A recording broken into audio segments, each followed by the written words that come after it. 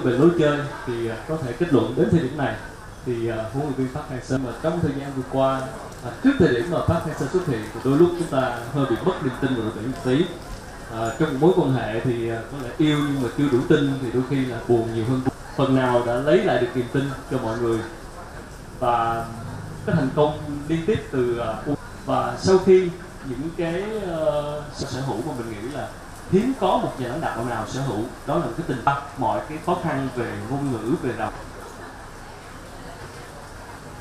vâng nhưng mà cái người mà sát cánh kề vai sát cánh cùng ông trong suốt thời gian vừa qua là lê huy khoa là người phiên dịch uh, hiệu trưởng trường uh, Việt Hà thì uh, anh Khoa có thể chia sẻ cho mọi người uh, cái cơ duyên nào khiến anh trở thành? Này tôi trở thành đối với một đội tuyển quốc gia với cái uh, thực ra cái này là do cái quyết tâm của tôi. Tôi chính là người sau khi nghe cái bản tin nghe cái tin là, là sẽ có vận động viên Quốc thì tôi chính là thông báo của tôi ra làm việc đó.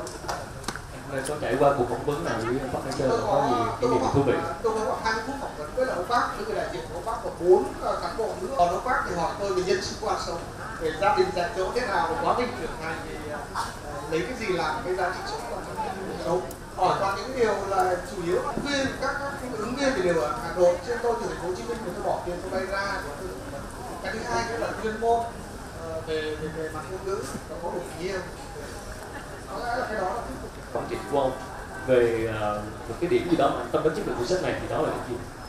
Ờ, ở đội tuyển chúng tôi thì bác nói cái gì? Luôn luôn nói đi nói lại luôn luôn. Có cái hãng điện thoại họ đến họ tài trợ cho đội nhưng mà ông hỏi tài trợ bao nhiêu cái nhưng hỏi số lượng đủ Bản Việt Nam từ trước trước thời mà Bắc tới nay thì anh có nhận xét thế nào về sự trưởng thành của cầu thủ Việt Nam nói chung cũng như đội u nói riêng. Từ cái thời thì bóng đá Việt Nam chúng ta có thể nói là, là rơi vào là sau khi những con người một nó có bóng đá Việt Nam là huấn luyện viên nào cùng mà phát triển Đúng rồi, mưa quá không ngoài đâu nè Ướt mái rồi cá nhân. thì nói đến anh đoàn anh đoàn Nguyên Đức đã có cái tiếp xúc với huấn luyện viên Park Hang-seo.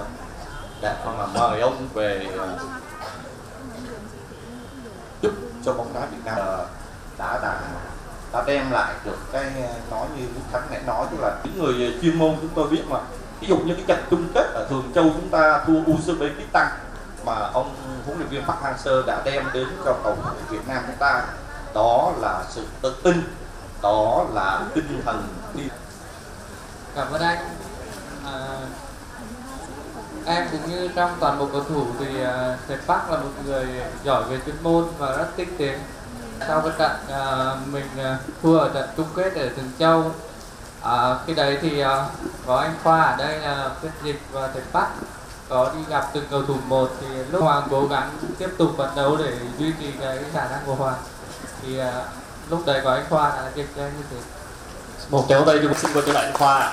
Ờ, trong quá trình uh, phiên dịch cho ông Khoát á. Thua có được không? Nhưng mà uh, cái phòng mà tình cảm nhất của ông Park vẫn là phòng bác sĩ anh ạ. Thương. Em may mắn là ít bị chấn thương nhưng uh, em qua lời kể của các bạn cũng như là thỉnh thoảng em qua phòng bác sĩ thì đúng thật là ông Park ông thủ chứ nhưng mà thầy để kiểm tra đó kiểm coi có kiểm tra đó. Coi coi, có quánh bài chơi game hay là gì không? Người huấn luyện viên. Xin chẳng lẽ bây giờ mình nói, ơi, điểm danh nha. Thì nó kỳ quá, thôi lại ơ, mà giờ này là à, điện thoại về cho vợ chưa? Hay gì vợ con ở nhà sao? Đó là hình thức kiểm tra các bạn. Cái đó cái nghề huấn luyện viên. Mà tụi tôi hay kêu đó là cái chi là chúng ta thấy rằng là nếu mà người Việt chúng ta thì người Việt xung quanh cũng nghĩ là cố chấp, nhưng mà ông thì đã đặt ra cái mục tiêu mà đó là ông thực hiện bằng được thì thôi. Không nể tiền mà bây giờ tôi mới nhớ lại đó là ngày đầu tiên mà khi ông sang ông sang nắm đội tuyển Việt Nam á thì à, có một có một nó chạy bằng chết thì thôi nghĩa là đã có mục đích rồi á. Mà phía sau đầy họ chạy tạo điều kiện cho họ chạy họ sẽ chạy được. Nhưng mà cầu thủ Hà Lan thì khác cầu thủ châu Âu thì khác rất lớn cho chính chúng tôi cho đầu tiên tôi là người ở giữa là người đầu tiên lĩnh hội đấy cái thông điệp đó. Tiếp theo nữa là các cái ban huấn luyện. Mình à, à, thắng lợi như thế thì chúng ta thấy cả nghề huấn luyện viên thì sao sướng áp lực lắm các bạn áp lực nói theo cái tiêu chuẩn của Hàn Quốc bây giờ á. Theo thông tin tôi biết là ở Hàn Quốc bây giờ chỉ có những huấn luyện viên thuộc dạng là thế hệ trước rồi thế hệ đi trước rồi. Đó, có thể là không phù hợp với bóng đá Hàn Quốc đâu.